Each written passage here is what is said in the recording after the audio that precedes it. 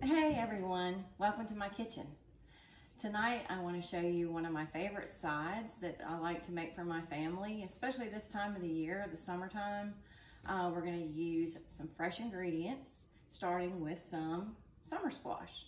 Uh, I like to use at least four to five of these, and I do prefer the smaller size squash. Reason being is because they're a little more tender and they're not as seedy as the larger size.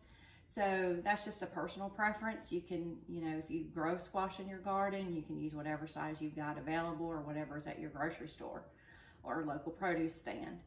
Um, we're also going to use a couple of zucchini and onion of your choice, about a medium sized onion. You want to chop it up. Um, there again, it's to your personal preference, what size of onion you like in there, but it does add a lot of flavor to this dish. Um, the other thing we're gonna use is one full stick of butter, which I know is not super healthy, but it's super good. And we're also gonna use about two teaspoons of garlic salt. There again, that's to your preference. Everybody has, you know, your own taste choices. You just kind of have to play around with it and see what's best for you and your family.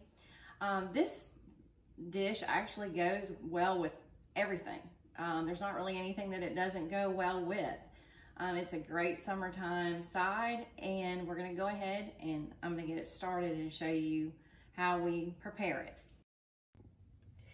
All right, next what we're gonna do is we're gonna go ahead and put our butter in our pan. We're gonna put this on medium heat.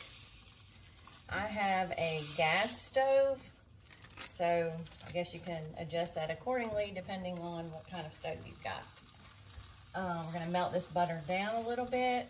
And let's add in our garlic salt so it kind of melts with it.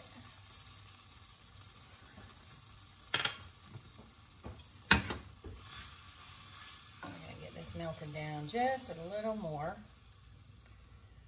Mm,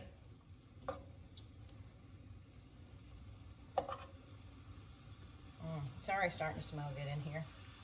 All right, I'm gonna add the onion now.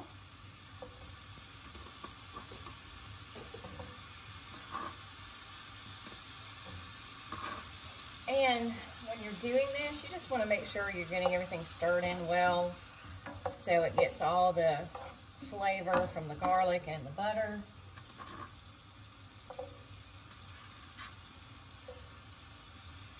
And then what we're going to do next is we're going to add in our veggies, our squash and our zucchini. You might want to alternate it, that way it's not all just squash and not all just zucchini. You want some of both in there. and this will be delicious. And once you get all the veggies in the pan, you're gonna wanna um, cover it.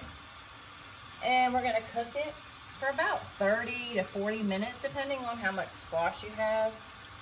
Um, and you're gonna wanna stir it occasionally. So you don't want it to burn, obviously, but you are gonna want it to be like a nice brown at the end. And we'll show you that in just a bit. So once you get all this in here, you're going to put your lid on.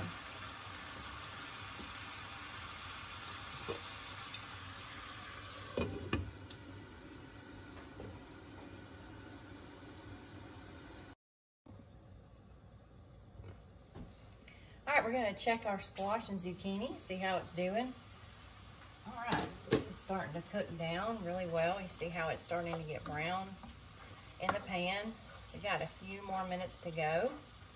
Um, it's actually smelling really good in here. I wish you could smell it. But anyway, I'm going to put the pan, lid back on the pan. We're going to let it cook down just a few more minutes, and then we'll show you the end. All right, I think this may be done. Let's see. Oh, yeah. It's nice and golden brown. I'm going to stir it up just a little bit more gonna turn off our heat and we're gonna set this over to the side while I prepare the other things for our meal this evening. I really hope you enjoyed our video. Um, please leave any feedback that you may have and I hope that you and your family enjoy this. Thanks for watching.